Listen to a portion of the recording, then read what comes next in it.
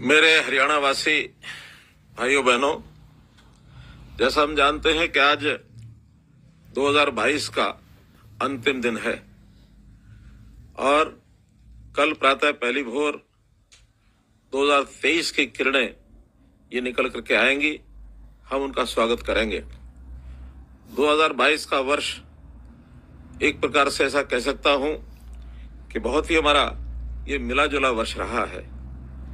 और इस वर्ष के, आज बीतने के बाद नव वर्ष, खुशियाँ भरा ये वर्ष आए, ऐसी मैं कामना करता हूँ और इस नव वर्ष की बहुत बहुत आपको बधाई देता हूँ।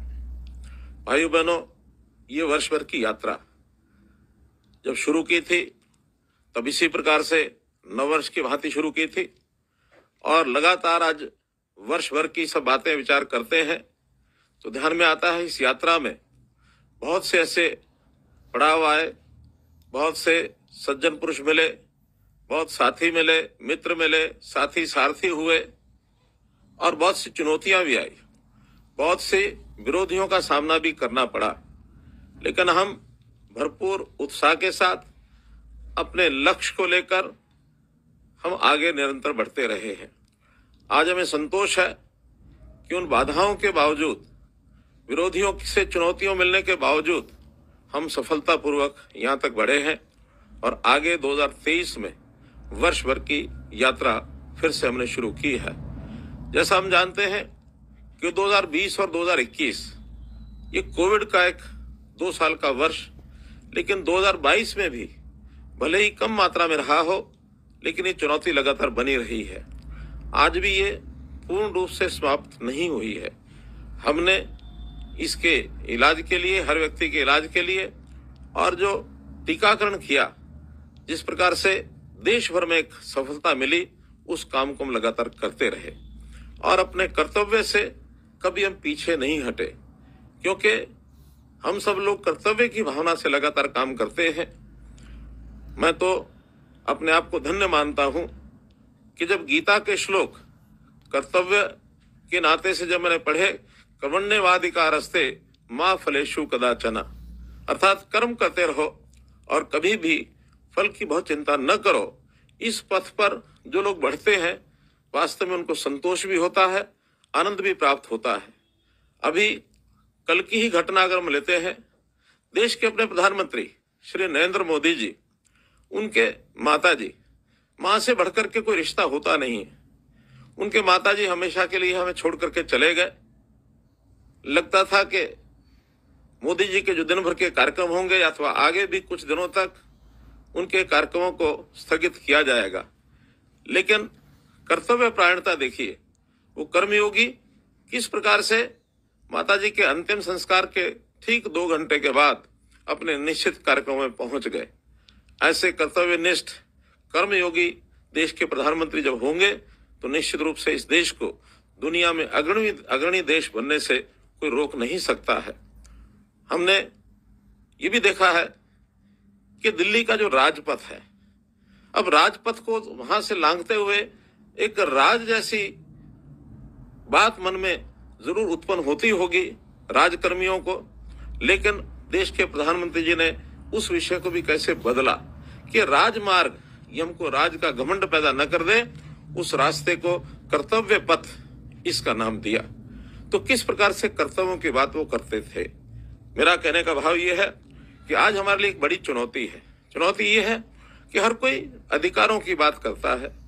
अधिकार मेरे ये होने चाहिए, वो होने चाहिए। लेकिन यानी कर्तव्य की बात, अपने कर्म करने की प्रेरणा, ये बहुत कम लोगों में जागती है। और इसका सीधा सा कारण मैं मानता हूँ कि इन लोगों का जो टारगेट है तो बहुत से लोग अधिकारियों, अधिकारों की ही बात करते हैं, केवल स्वार्थ की बात करते हैं, कर्तव्य की बात नहीं करते हैं, उनके सामने उनका लक्ष्य ओझल है। वो बहुत ही व्यक्तिनिष्ठ जीवन को जीना चाहते हैं, मैं, मेरा घर, मेरा परिवार। लेकिन आज देश में एक बहुत बड़ी ऐसी एक लड़ी खड़ी हो गई है, एक श्रृंखला खड़ी हो गई है कि जो लोग अधिकारों की बजाय कर्तव्य की बात ज़्यादा करते हैं तो उसी कर्तव्य भावना को लेकर के हम भी लगातार आगे बढ़ रहे हैं।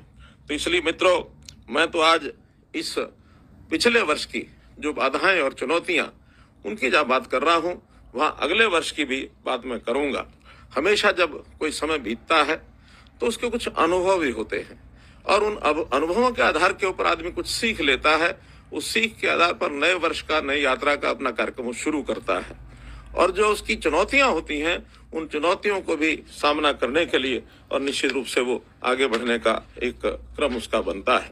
हमारे लिए जो चुनौती है, वो चुनौती इस प्रदेश में, वैसे तो देशव्यापी भी ये है, लेकिन प्रदेश के अंदर हमको बहुत बड़ी चुनौती, वो भ्रष्टाचार की ये सामना इसका करना पड़ा। ठीक हम जब 2014 में सत्ता में आए थे, उसी समय मन में विचार किया था कि जो भ्रष्टाचार है, ये एक ऐसा रोग है, ऐसा ये कैंसर है कि जिसको समाप्त किए बिना हम समाज को, स्वस्थ समाज, ये करना शायद हमारे लिए बड़ा कठिन है। तो हमने उसके ऊपर काम करना शुरू किया और उसमें सबसे बड़ा जो एक लोक जागरण का कार्यक्रम था, वो भी हमने शुरू किया। हमने अपने अधिकारी, कर्मचारी, अपने नेता, इन सबके मन में भी एक बात डाली कि आखिर हमको सेवा भाव से काम करना चाहिए। हमको सेवक बन करके और हमें जनता को अपना परिवार मान करके ये काम करना है। हरियाणा एक, हरियाणवी एक। इस भाव को लेकर के हमको आगे बढ़ना है, उसी को लेकर के और हम आगे बढ़ते रहे हैं। हमारे सामने चुनौती थी कि किस प्रकार से गरीब परिवारों का, उनका जीवन, ये सुखी कैसे किया जाए। टारगेट रखा कि एक लाख गरीब परिवार, इनका परिवारों का जो अंत्योदय उत्थान का कार्यक्रम ये करें हमें उसमें सफलता मिली है, हम आगे बढ़ रहे हैं।